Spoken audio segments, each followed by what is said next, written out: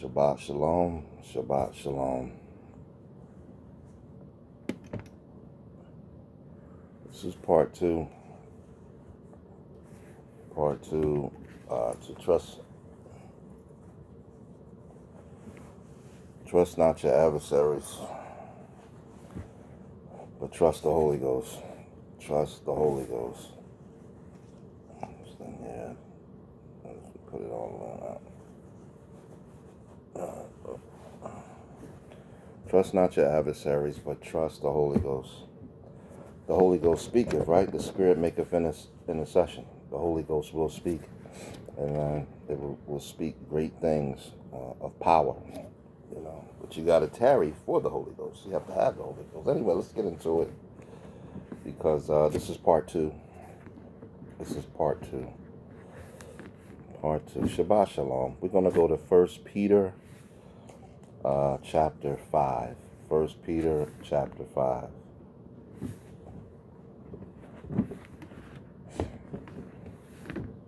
King James. And it reads, The elders which are among you I exhort, who am also an elder and a witness of the sufferings of Hamashiach, and also a partaker of the glory that shall be revealed. So here we have uh, Peter you know, he's an elder. He's obviously seen the sufferings of Christ, of Hamashiach. Uh, you know, at first he denied uh, Christ, you know, uh, three times. You know what I mean? And the, the um, you know, you know, the rooster, rooster, did its thing three times and things like that. But later on, when the Messiah came and visited him, he said, Peter, do you love me? He said, yes, you know I love you. He said, feed my sheep. And he asked him three times, said, feed my sheep, feed my lamb, feed my sheep, and things of that nature. In other words, feed the flock. And then, you know, Peter became commissioned. You know, and when Peter was killed, the studies show that he he said he, he said I'm not worthy to be crucified like like uh, like Christ. So Peter was crucified upside down. You know, uh, he turned his whole life over. Of course, you know, the, apostles that sometimes would have their little, you know, who you going to go to? Because Peter sometimes would partake, then he would back out of it, you know, not out of the gospel, but out of certain um, uh, different laws and stuff like that, as far as eating and not eating and all like that. But um, and then they went on; they became commissioned, which was the will of the Most High, because Apostle Paul wound up going to the Gentiles, which were basically uh, the Hebrews that were scattered, that were no longer in Jerusalem, but to the four corners that was in the other um, different parts of the world. But anyway, let's let's let's continue. And uh, it says, "The elders which are among you, I exhort, who am also an elder and a witness of the sufferings of Christ." See, he witnessed it, and also a partaker of the glory that shall be revealed. Because no flesh is going to glory in the Most High's presence, but there's a glory, an exceeding glory that's coming. Hallelujah. So listen, feed the flock of Yah. See it says, feed the flock of Yahweh, which is among you taking the oversight thereof, not by constraint, but willingly, not for filthy lucre, but of a ready mind. So what this, this passage is saying, this, this verse is saying is, feed the flock. The same thing, the Messiah, the same message was told Peter. Peter's now telling others, feed the flock, the word of the Most High. Not no false doctrines, not no uh, hearsay or heresies or any heretic type things, but truth. You know, feed the flock, feed the lineage, feed uh, the nations, the tribes, feed them, you know, the truth. You know, even if you got to go all the way back, bring them all the way in. You know, just as they did the, uh, just as the evangelists did, uh, Philip did the man. He said, the, the man said it when he was reading the scriptures, he was saying, is he talking, is the, is the prophet talking about himself or someone else? And then they broke it down to him. You know what I mean? Uh, that because he was reading Isaiah. And then he said, is there any water that I may be baptized? And they baptized him. So they fed him truth. And let's let's break down what this verse is saying. Feed the flock of Yah, which is among you, taking the oversight thereof, not by constraint. So don't. In other words, it's like somebody may say, "I was called to be a a, a, a pastor. I was called to be a preacher.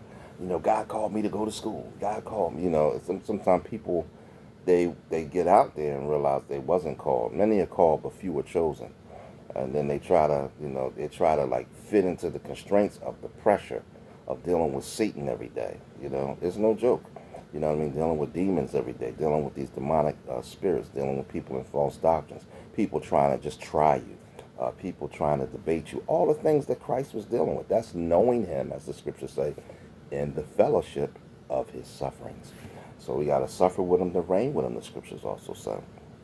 So it's, it's taking oversight there, not by constraint, because if you feel forced, you know what I mean, and, and it's not you, now you out there, and then you might fall into temptation and fall into sin. We all fall into temptation. Christ fell into temptation, but knew no sin. What the scripture said, he was tempted on all sides, but knew no sin. Ooh, I feel the Holy Ghost. And he paid it all for us. You know what I mean? Hallelujah. He paid it all for us. He laid down his life for us. Never said a mumbling word. But he did it. He's the Redeemer for Israel.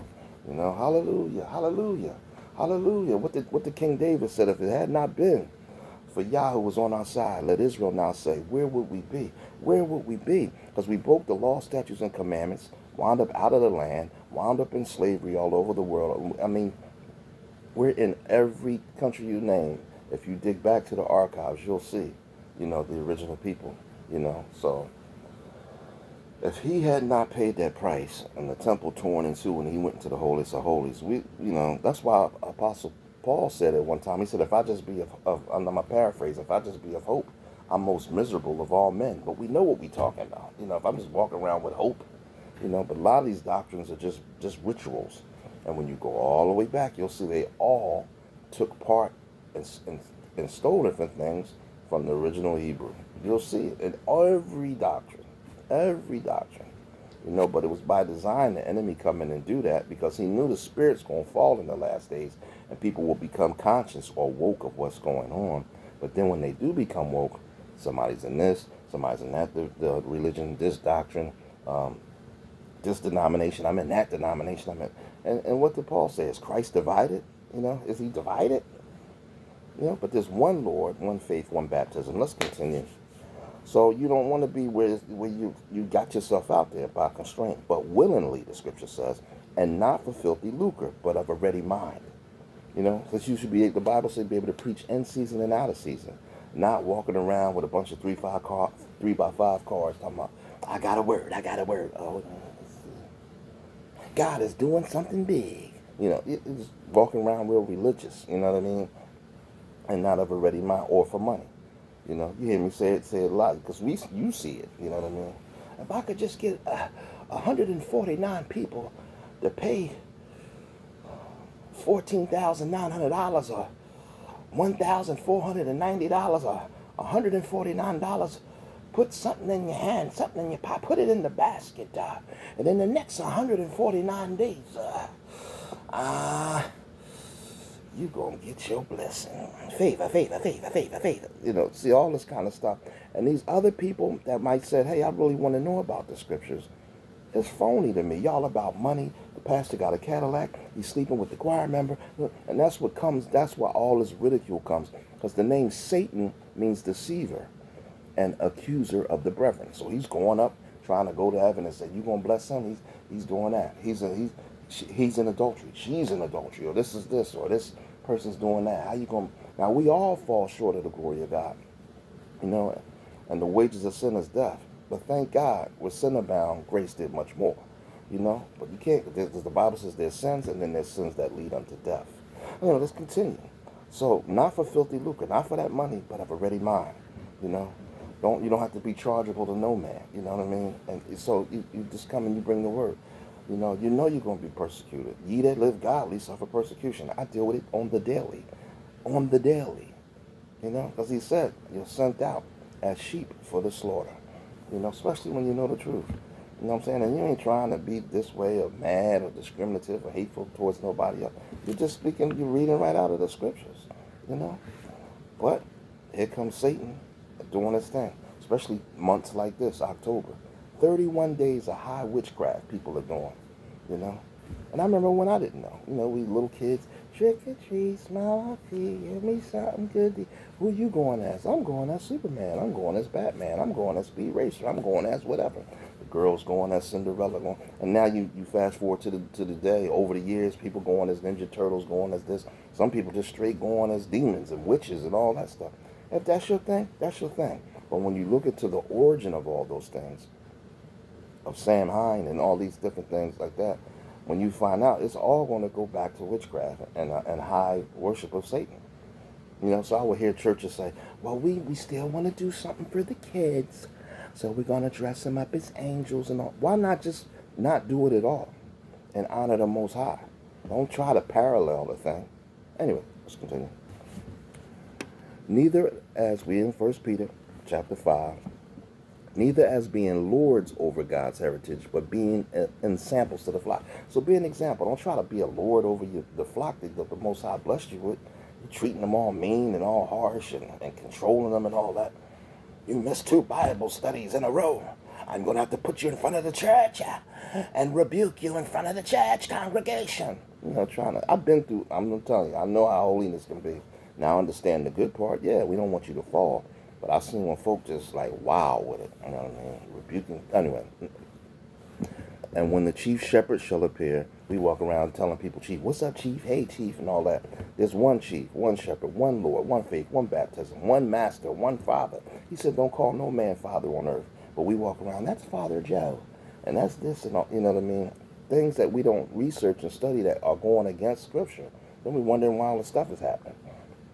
And when the chief shepherd, the chief apostle, the Most High, the Alpha, the Omega, the first, the last, the beginning, and the end, the Most High, the author and finisher of our faith, ye shall receive a crown of glory that fadeth not away. Don't you want that crown? Don't you want to get there on the other side? Don't you want to sit next to Isaiah or Apostle Paul and these people and see the Most High and touch his garment and, and really thank him in person? You know? So we got to go through. I don't want to go through some time. It's rough, but I go through because I was called and chosen. And I'll die for the scriptures. A lot of people ain't. The last minute. That's why the Bible says it's going to be a great falling away. But here's your adversary running around trying to destroy you. A snake is a snake. Won't always be a snake. You know the story. The snake talking snake was with the man. The snake said, Can you carry me down the road? The man said, But you a snake, you gonna bite me. Uh, the snake said, I won't bite you. He said, You will, you a snake. No, take me to the end of the road. The man took the snake to the end of the road. When he got into the road, the snake rolls up and bit him. He said, You bit me, you promised me you wouldn't. What did the snake say?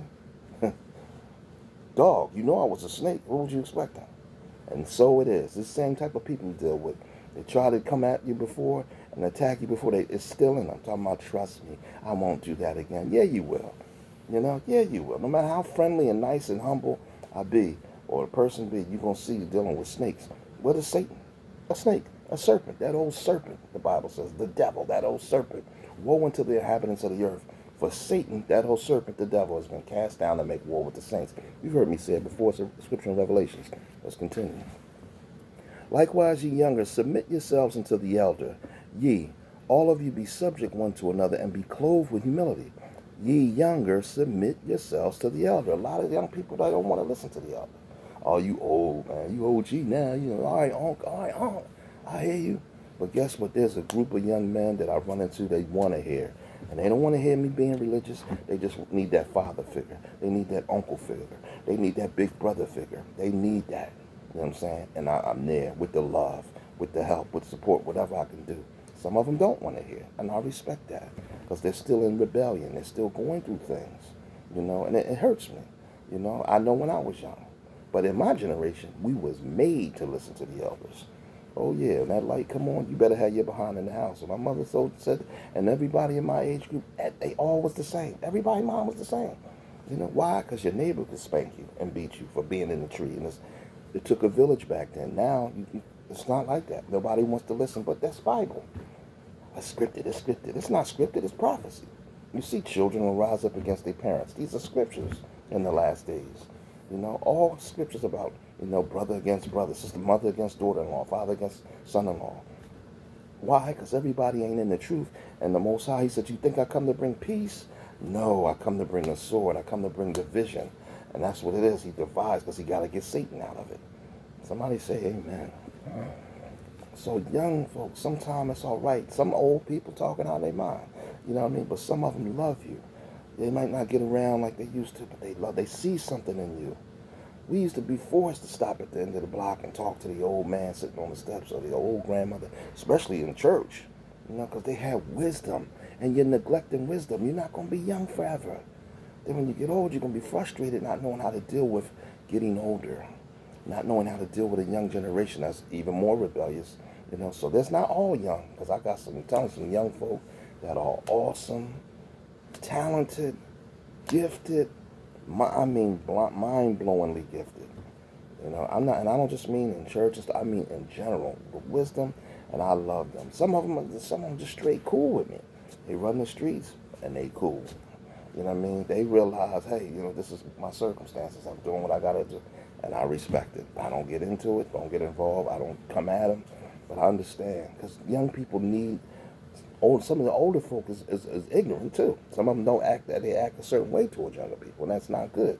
You know, you disres- you can't be disrespectful to young people because they need. Some of them need you. They want to hear you. They want your help, but they realize you close the door in their face a lot. So, you know, let's get the two-way street going. You know, that's how you build up again. You know, you can't cut off years of time. You know, because then there'll be a big gap. And the, and the enemy already caused the gap of historical things and accounts and records that we cannot find or track. That's why everybody's at each other. Let's continue. Ye all of you be subject one to another. See that? Be subject one to and be clothed with humility, because you got to be humble. For God resisteth the proud and giveth grace to the humble. You heard, heard that before. The Most High, He gonna resist the proud. And the Bible says the proud and the haughty spirit comes before a fall. You see somebody bragging oh, on this, say, well, that's y'all. I know that stuff don't happen to me because I'm. All right, a prideful and haughty spirit gonna come before a fall. And you have that great fall, and you're gonna need all them people that you shunned away. Humble yourselves, therefore, under the mighty hand of Yah, that he may exalt you in due time. Humble yourself, even in the midst of the vex. I'm telling you, I was sore vexed, like King David said. I was sore and vexed. The enemy just like, ah, I'm going to get you, go after him. Everybody get him, get him, get him. I'm like, imagine, imagine, I don't want to say any names, but just imagine you're the greatest quarterback or something of all time. If he threw, which he has, threw an interception, even though he's all that, one time, and they said get rid of him, he would have never took you to the four or five, six Super Bowls. Some things are a part of life. Don't we all wish crime would end? All this murder and killing? But the scripture in Revelations talks about the red horse. And there would be a lot of that, and the gray horse. But don't you don't we wish that? Some things are part of this this this life. And you can see people they're saying, listen, we're gonna try to stop the crime and all. They they can only do the best they can with the, the, the manpower they got. But sometimes when people want to, you know, somebody may be the, like I said in part one, you might be the awesomest uh, housekeeper ever. You know, one dust bunny, one little ball of dust, they missed. And it was in an executive office or something. Get rid of them. Let's go after them. Take everything from them. What? Some things are a part of, don't you make, don't, we all fall short of the glory of God. And that's how you can tell And sometimes the people that are like that are psychotic. You know, there's a lot of people, I'm telling you, they can have big time degrees and all that kind of stuff and move in different places and can have behavioral health issues. Everybody's dealing with, everybody deals with, deals with something, you know, including myself. I'm not perfect. Nobody's perfect. But you can tell because your adversary will go straight for the juggler, straight for, boom, you know what I mean? Oh, he pitched a shutout, you know what I mean? Uh, uh, six games and game seven, winning extra innings, he threw it. Uh-oh, home run. They lost. Get rid of him next season. Well, he just won two World Series for you. You know, the two years prior. Imagine they got rid of Jordan every time he missed a free throw. Sometimes things happen because it's a part of the game when it's in the game sense. Game, you know, in sports, that's a game. It's entertainment, but they do get paid.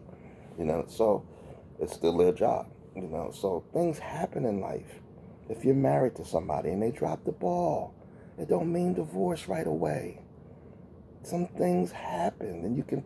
I'm not saying somebody drop the ball and, and, and cheat on you or something like that, but I'm just saying some things in life, all all different. We can go on every topic and subject. People sometimes want to go straight, cut the lifeline, cut the juggler, pull the plug on them, flatline them, and you forget who got you there. Whoever who got you to the Super Bowl before you was coaching? Who took who was taking the team to the to the Super Bowl every uh, every other year, or the playoffs, or the NBA championship, or the or the pennant, or the or Stanley Cup, or whatever. I'm just using sports as an example. If they always went right after the star player for one little interception or a fumble, the running back he fumbled. He had 2,000 yards. He's only one of a handful of running backs with that, and 27 touchdowns running. He was a Heisman Trophy winner in college. He was a high school All American blue chip and everything. He won two Super Bowls with this team here, and then this team, he winds up. He fumbled in the Super Bowl. I can't believe. Get rid of him. That's the way it is. That's the way it is. That's this. This life is like that. You can have 58 knockouts. You know, 58 wins and 47 knockouts and one loss. If you lose to one little thing, get rid of him. I remember a big famous fighter. You know, he got caught slipping, bam, get rid. You know, they just they just hated him. You know, and that's the way the society is. And if you got wisdom, you know not to always get rid of that. Don't get rid of folk like that, because those folk brought you through. They carried it for you, for the love for you. They realized you had a had a, a, a weight to carry, and you didn't realize they was carrying, they was helping you. You know, the best they can. Some things slide through the cracks. Some things are sand in the hand. But like that footprint poem, the, the Messiah, Christ is carrying. You know, so you can't always shoot down every situation. You know, you look like I said, you can look at marriages, you can look at friendships, you can look at in all different facets you can't always go and go for the juggler on somebody, especially when the situation entails that these things happen. Fumbles happen in, in football, do they or do they not? In the NBA, free throws are missed sometime, right? They don't all go in, right? Three pointers are missed. Basic shot layups are missed. Dunks are missed. Can I get an amen? The, the dude that bats 504 at the plate, he strikes out sometimes doesn't he? The guy that pitches a, a 081, you know, high ER, I mean low ERA, right? Every now and then somebody knock that ball right out of his head out the park. So some things are part of it. But you can tell when you're dealing with somebody that's psychotic, because the first thing, get them, get them, you know, they're just thrown on. I'm not talking about fans, but y'all know what I'm talking about. In daily life, you got people like that. And the first thing is, and then when it's when they realize, you know, you don't you don't came at a prophet, but the scriptures say, touch not my anointed, do my prophets no harm. And then now you're in the wrath of the Most High. You know, because what's, because what's happening in a lot of these cases, I'm going to round it off and keep going, is the person never liked you from the beginning. Even from of old, they tried to get you, tried to snatch everything out of you and, and, and leave you for dead. And they see you still surviving by the grace, by that same grace. And so now your adversary is angry and they're on assignment from Satan now you don't believe this, because I know when I was at a, when I was at, at that place of growth in the scriptures. But anybody that's a believer, you have an assignment that's after your soul, and your gifts, and your talents, and your anointing. Because Satan will send them. That's a part of this life. Christ had Judas. Anyway, let's continue.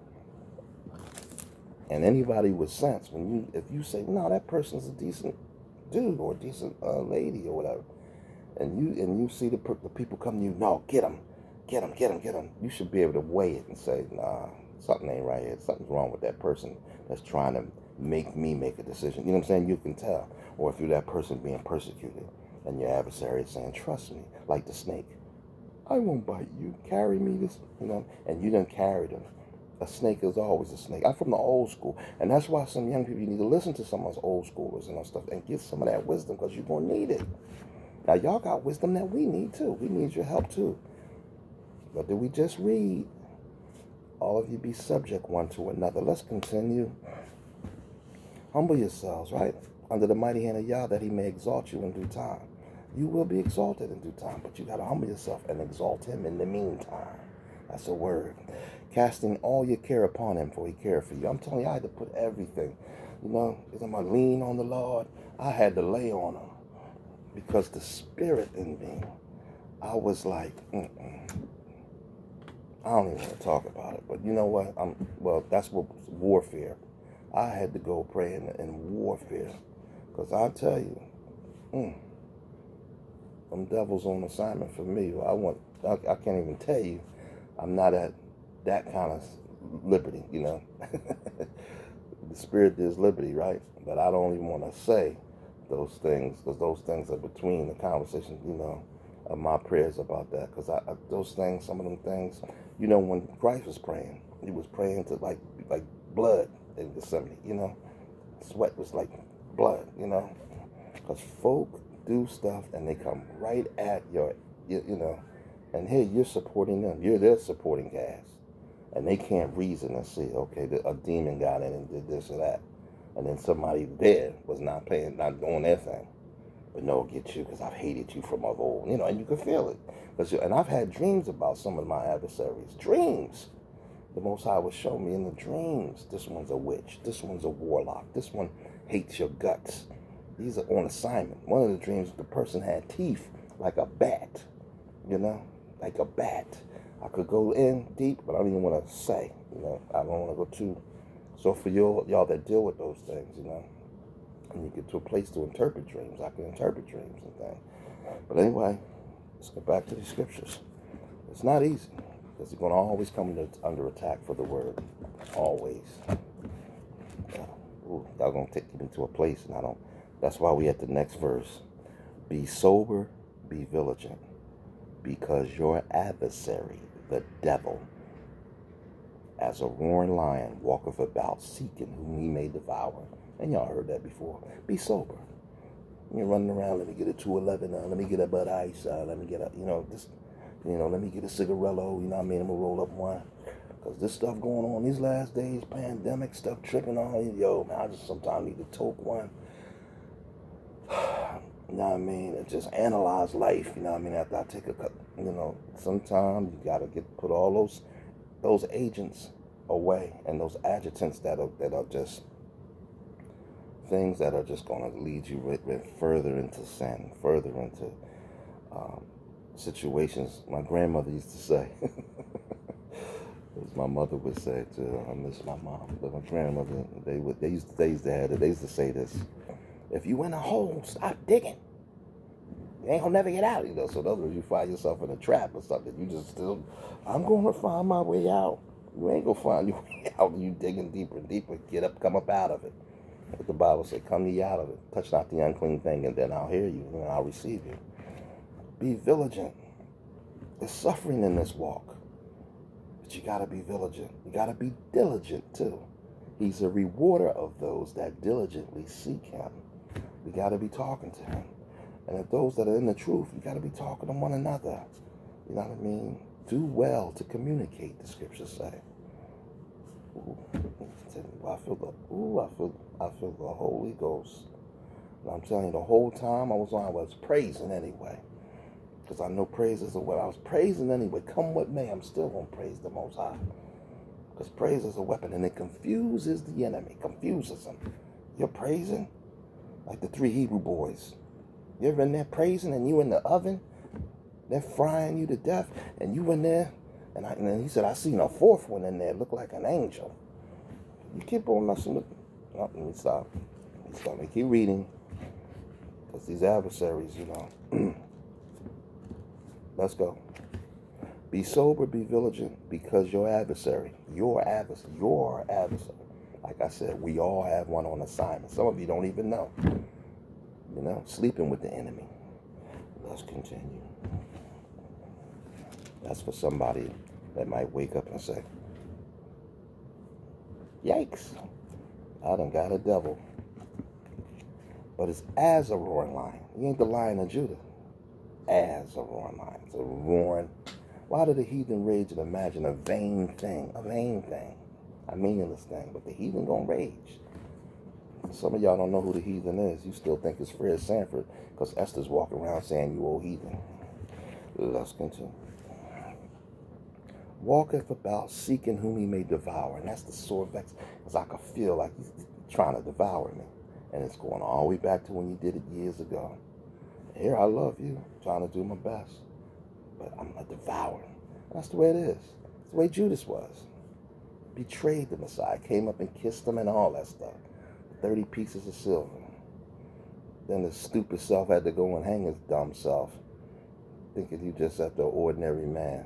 It's the son of the Most High, the Hamashiach. Mm, mm, mm. Trying to take down the power. Even Satan tried to make Christ kill himself. He said, Throw thyself off this off this mountain, for it is written, he quoting scripture, Satan, for it is written, the angels will take charge of thee, lest ye dash thy foot against a stone. Satan quoting scriptures to the Messiah. Trying to make him, you wonder where these spirits come from. The demon in the caves cutting himself with rocks, crying the, at night in the tombs. Then you, you hear about teenagers cutting themselves. You think this stuff ain't scripted? These are spirits, demons on this world and this planet. You know? And you got Satan. And you got people that like Satan. No, you waiting for the ground to open up and some little red people walking around with pitchforks when they're walking around you every day. And all shapes, sizes, and colors. You got demonic people that need to be delivered. Some people want to keep them demons. Or as one of the bishops used to say, they're friends. Keep the demons running. Then they want to reach out for what? Get delivered. Don't bring it this way. Because what the scriptures say, whom resist steadfast in the faith. Resist. And the Bible another scripture say, resist the devil and he shall so flee. And that's what you got to do. Stand up. Resist steadfast in the faith, knowing that the same afflictions are accomplished in your brethren that are in the world. We are. We're, we're suffering the body of Christ. That's the body of Christ. So what does the body of Christ take? All that whipping all night long? We're the body. You know, that's why we need each other. The eyes can't say I don't need the hand, the arm can't say I don't need the leg, the hearing can't say it's all, functioning body, and he's the Godhead bodily. Thus said the scriptures. You know what I mean? That's why we got to trust the word and not the adversary, nor his rage and all his stuff trying to cut off your very um, livelihood, your life. You know, cut your life, your anointing, your gift. He just wants every, he wants to steal, kill, and destroy. Let's continue. Mm-hmm. But you got to know your brothers are going through this and sisters. But the grace, mm, but the God of all grace, woo, amazing grace, of all grace, who have called us unto this eternal glory. That, so we're called into his eternal glory, you know, by the Hamashiach, by Christ Jesus, you know, by Yahweh you know, by Hamashiach, Yahweh Shah. After that, ye have suffered a while. So you're going to suffer, you know. Somebody once told me years ago, and I love this person. They were still good people. They, they was a blessing to me, but I knew they wasn't grounded in the scriptures. They said, I would like to, you know, but I just hear so much about being persecuted, and I don't want to deal with the persecution. And I realized they didn't, and they they're blessed. They're blessed just for being a blessing. But I realized they didn't. But they didn't really. No one took them through what the persecution, these things that you do have to go through. You know, so when you turn on TV and God just blessed me. He just favored me. I got a plane with my name on it. I got two Bentleys, a Maybach. I live in a castle. I'm preaching in California tomorrow, New York, and France in, in a couple weeks. Uh, and all this kind of, you know, stuff. Did you see Christ saying all that? And I'm not saying you can't have things, because even Paul talked about that. You know what I mean? But I'm just saying some people you could just see it's like the scriptures, filthy lucre. But anyway, let's continue but the God of all grace, who hath called us unto his eternal glory by Christ Jesus, after that ye have suffered a while, make you perfect, establish, strengthen, settle you. So he's gonna he's gonna make you not where you just so you know, but he's gonna bring you back. He's gonna refresh your spirit and establish you and strengthen you and settle you. Somebody say amen.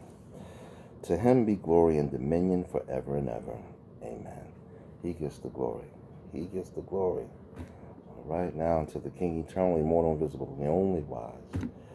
Yahweh be honor glory forever and ever. So be it. Shalom. Shalom. Baruch atah Yahweh Yahweh Shalom Shalom Yahweh is great. Yehoshua, Yahshua, Yahuwah, He is great. All right? Stay encouraged. Don't trust your adversaries. Stand up in faith and let them know my God is greater. Right? For greater is he that's in you than he that's in the world. no matter what they do, yeah, you're going to suffer some time, but they're going to pay for it. You'll read in these scriptures, the Most High has wiped out families for people coming against, you know, his uh, ordained prophets. Shalom. Be strong. Be blessed.